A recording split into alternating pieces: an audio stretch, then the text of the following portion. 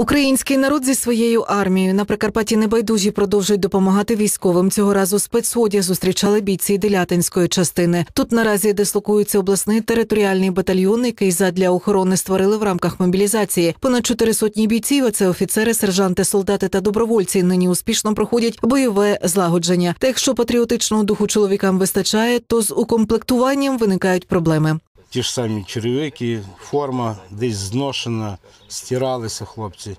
Ясно, що треба ще, як кажуть, допомогти. Десь пірвались, десь е, розірвалось, будемо казати, десь стерлося. Проблема завжди є. Я хочу сказати, що проблема є завжди.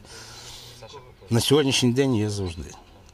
І ми сталкуємося з цими проблемами, будемо казати так, по ходу виконання цих завдань. Понад два десятки новеньких комплектів форми бійцям батальйону передали місцеві підприємці. Мовляв, болівають за чоловіків, які зголосилися захищати безпеку України та добре розуміють проблеми української армії, як і те, що виділеного нині воєнкоматами бійцям просто не вистачає. Допомога у воєнній формі, яка потрібна постійно на зміну, постійно. Для е, гігієни і для самопочуття хорошого Е, нами було прийнято таке рішення, щоб допомогти десь цій частині. Це є хлопці з Івано-Франківська, які захищають нашу країну, вчаться працювати в воєнних діях, вчаться відповідно нас захищати. Армія з народом, народ з армією.